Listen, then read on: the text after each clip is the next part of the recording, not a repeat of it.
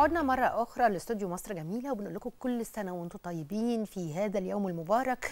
هذا اليوم الذي تتنزل فيه رحمات الله سبحانه وتعالى وأيضا ترفع فيه الأعمال. ليلة النصف من شعبان هي ليلة آه، فعلا ليلة مباركة. كيف نستطيع أن نستثمرها؟ آه، الصيام والصلاة والدعاء. آه، رفع الأعمال شيء ليس باليسير. أحب أن يرفع عملي وأنا صائم كما قال قال الرسول عليه الصلاة والسلام آه، يتنزل آه، تتنزل الرحمات وأيضا يشهد الله هذا اليوم وهذه الليلة بعناياته. عشان كده إحنا بنحتفل النهارده بليلة النصر من شعبان وبنحتفل بهذا اليوم آه، اليوم اللي آه، يعني معظم المسلمين بيعتزوا بيه آه، بيشمله الصيام والدعاء آه، يعني كيف آه، نستطيع أن نستثمره. آه، أكيد كل واحد فينا بيحب ده آه، لكن طبعا هرحب بضيفي في أول الفقرة آه، المبتهل علي الحسيني أهلا بحضرتك أهلا وسهلا. بحضرتك كل. سنة حضرتك طيب ونص. شعبان آه، يوم مبارك إن شاء الله علينا وعلى كل يا رب جميعا يا رب يرفع. عملنا يا رب اللهم آمين آه، ربنا يتقبل منا صالح الأعمال آه، و- وأيضا يشملنا رضاه يا, يا رب اللهم آمين. جميعا يا رب جميعا يا رب بإذن آه، الله يعني حضرتك هتقول لي نبذه عن هذا اليوم بيمثل إيه و- ونبتدي بقى نستمتع بالابتهال آه طبعا يعني هو شيء مما لا شك فيه إن الأيام ديت الواحد بيحاول يستثمرها على قد ما يقدر تمام آه لأن هي طبعا أيام مباركة ومعدودة يعني الأيام بالذات الأشهر الحرم بالذات هي أيام معدودة والواحد يعني بنتكلم بالعامية كده الواحد يبقى خسران لو ما استفادش بالأيام ديت واغتنمها يعني. بالتأكيد. يعني وكمان آه، آه، الابتهال يعني آه، بيشفي النفس وبيشفي طبعاً، الروح طبعاً، وفعلا ذكر الله بذكر طبعاً. الله تطمئن القلوب. طبعا نعم. فطبعا حضرتك هتقولي بسريعا إيه المواصفات اللي يجب أن تتوفر لدى المبتهل؟ وهي المواصفات المواصفات التي يجب أن تتوافر لدى المبتهل أول أول حاجة طبعا يعني جمال الصوت وإن يكون عنده لغة عربية جيدة. تمام؟ وعنده وعي بالمقامات الموسيقية وحاجة اسمها في المق... في المزيكا الإيقاع يعني في. الحاجات الجماعية اللي هي الإنشاد تمام لأن الإنشاد يعني بيعتمد أكتر على الإيقاع مع النغم. بس آه، الفرق بين طبعاً مع الابتهال. والإنشاد وده بي- بيختلط على بعض الناس آه هو الإبتهال. أداء حر.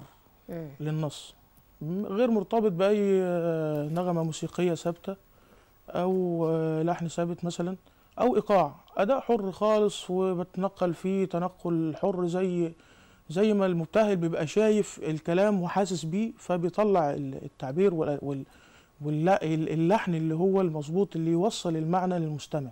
إنما الإنشاد هو تقليدي أكتر بيبقى قالب آه، موسيقي بن يعني بن بن يعني آه، بننسق بيه الكلام مع إيقاع ثابت برضه. بيبقى فيه أداء جماعي زائد أداء فردي بس بيبقى كله ملحن. ده ده بالنسبة. للإنشاد. طب آه. جميل. لكن حضرتك النهارده هتبتهل هنبتدي آه، دلوقتي نبتهل. الله يا يعني آه يعني الذكر حلو في هذا اليوم. حضرتك طبعا آه نبتهل بإيه؟ آه، هنبتدي. بإيه إن شاء الله؟ آه هنبتهل آه ونقول أياما كلما نودي أجابة. الله.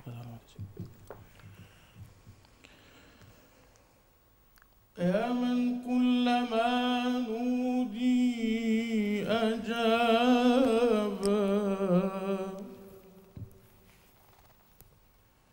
ومن بجلاله يمشي السحابا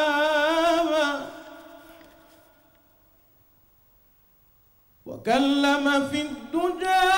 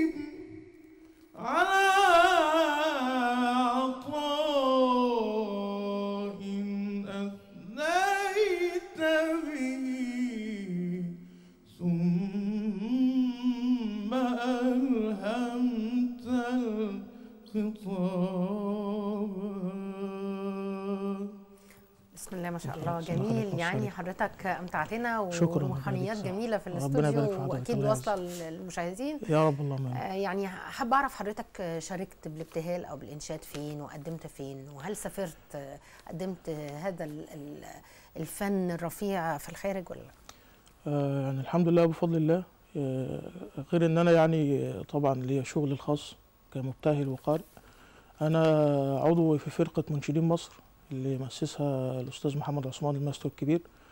وبفضل الله سافرت آه، عمان ومثلنا مصر هناك يعني وكانت حلقة يعني كانت حفلة موفقة هناك.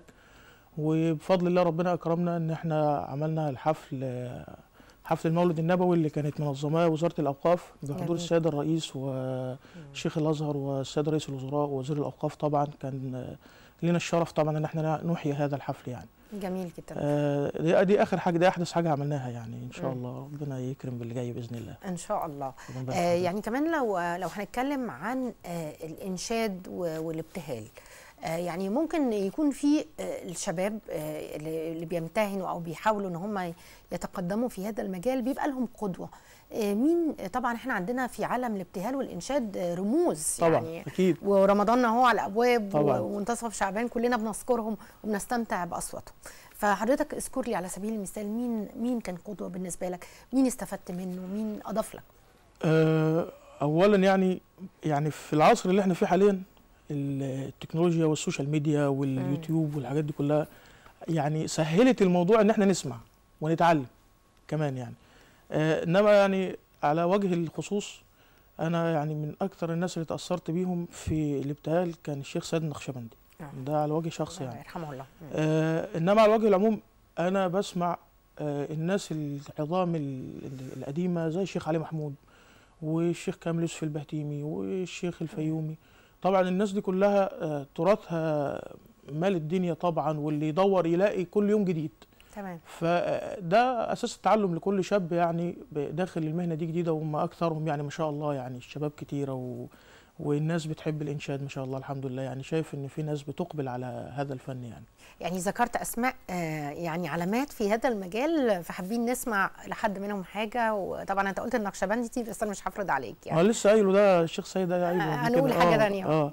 طيب حاضر. إحنا يعني آه اللهم صل على سيدنا رسول الله.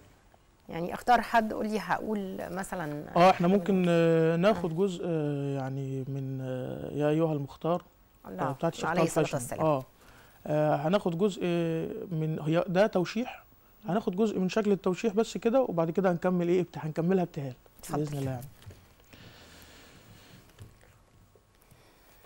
يا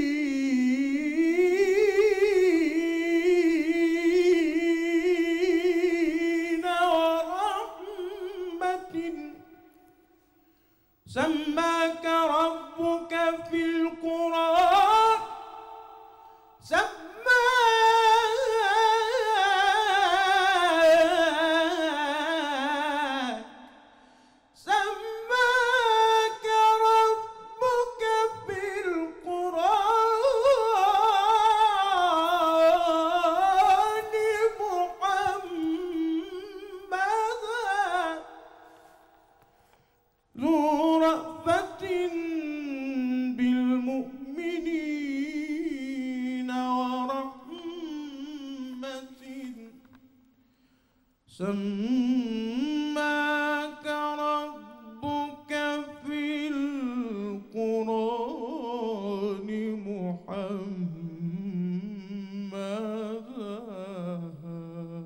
اللهم صل وسلم وبارك عليه. الصلاة والسلام. يعني آه، فعلا الروحانيات جميلة. ربنا آه، لكن كمان حضرتك كلمتنا عن السوشيال ميديا وعن استعمال التطبيقات الحديثة في في في التعلم وفي كده. كمان في تجديد أكيد وتحديث في الابتهال وأيضا في الإنشاد يعني إلى أي مدى يكون هذا التجديد أو التحديث؟ هو التجديد يعني يعني ممكن من وجهة نظري مم. كواحد في المجال آه، هو ليس تجديدا أو إن إحنا نغير التراث وما تعلمناه يعني من الناس السابقين إنما هو تجديد في أسلوب التقديم.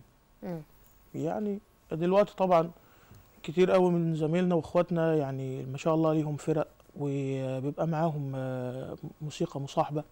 ففي ناس بتدخل مع الموسيقى الشرقية بعض الأساليب الجديدة اللي هي ممكن تجذب الناس وتحسس الناس إن الفن ده بيتطور. من غير ما إحنا نغير في ثوابته أو في ثوابت الفن دوت اللي إحنا اتعودنا عليه اللي هو سبب اللي هو الكلام مم. الكلام وطبعا الطابع المصري اللي إحنا اتعلمناه طبعا ده طبعا ده يعني صعب إن إحنا واستحالة إن إحنا نغيره إنما ممكن إن إحنا نضيف ليه بعض اللمسات الحديثة في. في في في في, المزيكا وفي القواله وفي طريقة التقديم اللي هي ممكن تجذب الشباب للفن ده بدل ما يعني يجذب إلى فن تاني أو حاجة أخرى. غير هادفة يعني تمام. وكمان حضرتك ذكرت لي آه، آه، إن هو ال- الفن ال- اللي بيغلب عليه الطابع المصري. لكن أيضا آه، الدول العربية والإسلامية في ابتهالات وإنشاد طبعاً. لكن آه، ما ما وجه الشبه يعني؟ هل في اختلاف كبير مع باقي الدول العربية مثلا؟ هي طبعا بقى في ثقافات يعني كل دولة وليها ثقافتها يعني طبعا طبعا لكن في الآخر بيجمعهم آه، آه، نفس. الرسالة نفس الرسالة. آه. نفس الرسالة ونفس يعني آه، آه، نفس هو هو يعتبر فن واحد بس بقى لون مختلفة. دي ده- يعني ده القصد ده القصد يعني ده الواحد عايز يوصله. آه، إيه الأماكن اللي ممكن آه، يعني يبقى فيها إقبال وبتقدم الابتهالات والإنشاد؟ هل في المواسم فقط آه، زي ليلة النص من شعبان؟ وهل في أماكن آه، يعني بي- بيرتادها الشباب وبيحبوا يستمعوا لإقبال الشباب إلى أي مدى؟ هو حضرتك شاب طبعاً. الإقبال الأكبر. طبعا دي صح الإقبال الأكبر طبعا على منصات ال social media. آه فعلا. آه يعني حتى ممكن في بعض الحفلات اللي بتقام في بعض الأماكن ومنها طبعا دار الأوبرا المصرية فرقة مم. الانشاد الديني في دار الأوبرا المصرية طبعا لها حفلات كل شهر. جميل. يعني ما شاء الله بس طبعا هي محتاجة إن هي الناس تشوفها شوية. إنما بيقدموا فن راقي جدا وحاجة عظيمة أنا شخصيا بحب أروح أسمعها يعني. آه إنما السوشيال ميديا دلوقتي أقرب للناس كلها.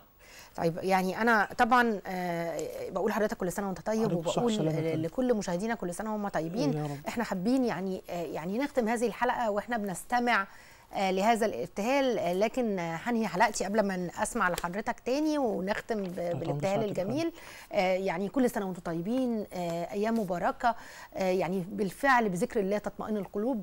وهذا اليوم يوم روحانيات جميل جدا. يجب أن نستثمره جميعا. لا تمر هذه الليلة ولا يمر هذا اليوم دون آه، أن نبتهل وأن نكون في طاعة الله ونأمل أن آه، اللهم بلغنا رمضان وأنت راض. عنا يا أرحم الراحمين يا الله. آه، بشكر حضرتك وبشكر. السادة. المشاهدين وهنختم حلقتنا بالابتهال وبذكر الله اتفضل. حضرتك. سيدي يا رسول الله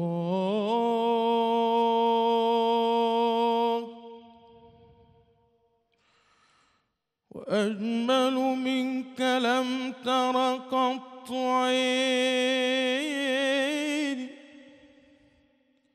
وأحسن منك لم تلد النساء. خلقت مبرأ من كل عيب.